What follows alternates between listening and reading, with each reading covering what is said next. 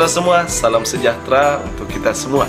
Saya Febrianto Wijaya beserta keluarga ingin mengucapkan kepada saudara-saudaraku yang mempersiapkan hari Natal dan menyongsong Natal di 25 Desember 2017. Semoga damai Natal beserta kita semua. Begitu juga dalam menyongsong 2018.